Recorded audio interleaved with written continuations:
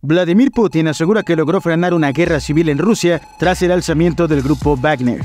Bielorrusia anunció este martes la llegada del jefe del grupo paramilitar Wagner, Yevgeny Prigozhin, como parte de un acuerdo que puso fin a su rebelión en Rusia, donde el presidente ruso Vladimir Putin aseguró haber evitado una guerra civil.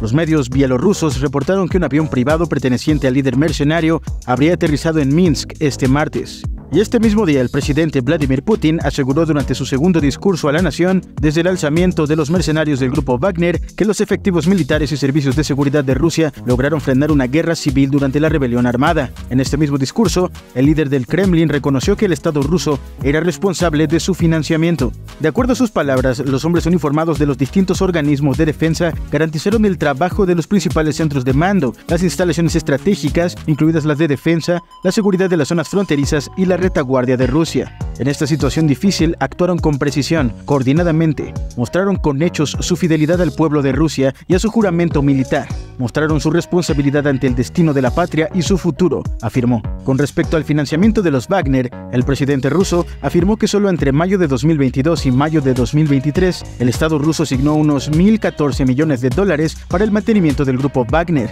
El mantenimiento del grupo Wagner corría plenamente a cargo del Estado del Ministerio de Defensa y las arcas estatales, dijo Putin en una reunión con militares rusos en el Kremlin. Por su parte, el primer ministro de Hungría, Viktor Orbán, aseguró este martes que la reciente rebelión de los mercenarios del grupo Wagner no fue relevante para Rusia, por lo que no debilitó la posición del Kremlin ni el presidente Putin.